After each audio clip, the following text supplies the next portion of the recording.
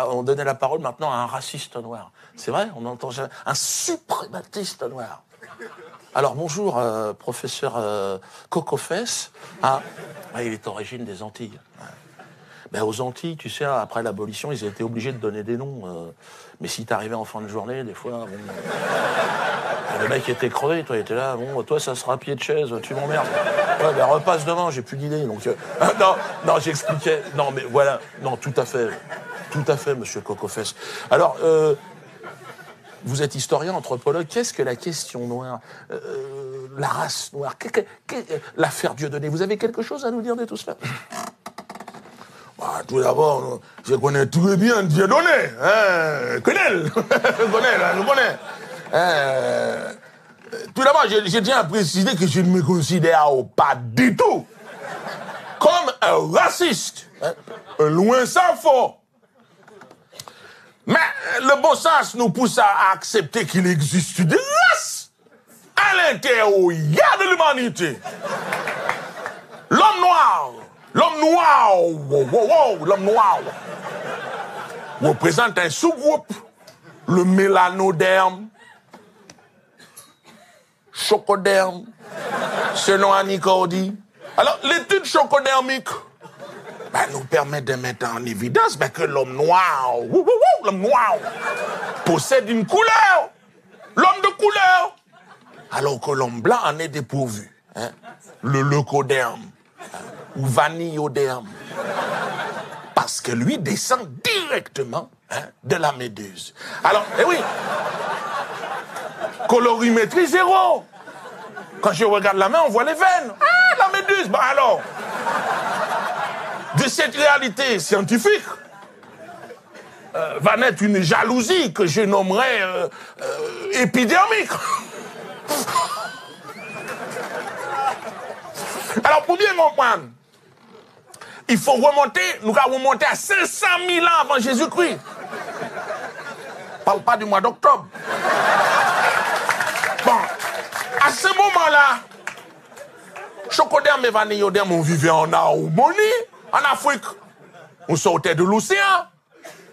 Mais très vite, le Vanilloderme va se plaindre. Pourquoi je n'ai pas de couleur? Pourquoi je ressemble tant à la méduse? Alors, le chocoderme, il rigole, il comprend pas. Je suis pas responsable de ça, moi. C'est Dieu qui a voulu te faire moche comme tu es. Alors, le vanilloderme, il se sent vilain. Il a honte. Il a trop honte. Donc, il va fuir en Europe. Il va se cacher dans la forêt avec les marcassins, les poules et les pigeons. Et là, il va ruminer. Le, le, le- chocoderme a la couleur, moi je n'ai pas la couleur. Pendant, pendant ce temps-là, le chocoderme, il ne comprend pas. Ben, il est où l'autre face de méduse qu'on rigole.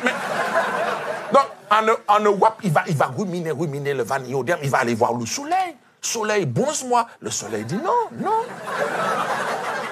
Tu n'es qu'une méduse, retourne dans la mer, enfin. Donc là, il va ruminer, rumination, jusqu'à avoir la révélation de la méchanceté même. C'est grâce à la révélation de la méchanceté même que le vanilloderme, il va inventer le fusil. S'il n'a pas le fusil, il ne peut pas bagarrer. Il ne peut pas retourner en Afrique, dire, euh, bon, mais je reviens. Donc, euh, non. C'est grâce au fusil de la méchanceté même qu'il va envahir le monde. Hein, de Napoléon à Hitler. Tout ça par considération médusodermique. Quand je suis devant la glace, ah, qu'est-ce que c'est cette méduse qui me suit depuis toujours? Alors, Hitler n'était pas le plus méchant. Et là, je reviens sur ce qu'ont dit les prédécesseurs. Euh, chez le vanilloderme, le plus méchant, le plus belliqueux, le plus menteur, et sans aucun doute le vanilloderme argenté. De son nom scientifique, le vanilloderme akipa.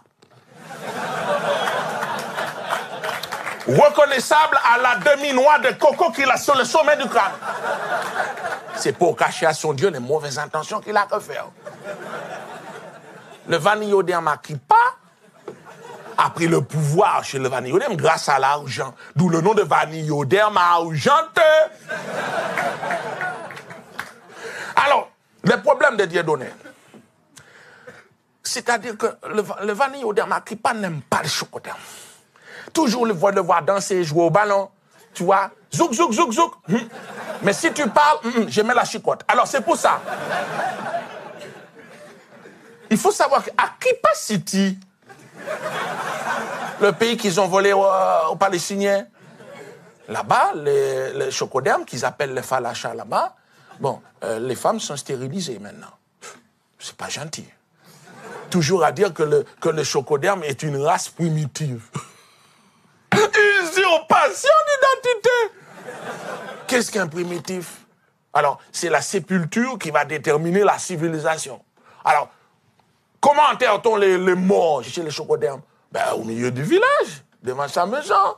Hein, les enfants jouent sur la tombe, la grand-mère repasse sur la tombe, on va danser sur la tombe. Chez les vanillodermes, à la sortie du village, à côté des poubelles, qui est le primitif, qui ne l'est pas, on verra ça la semaine prochaine. Alors évidemment... Euh,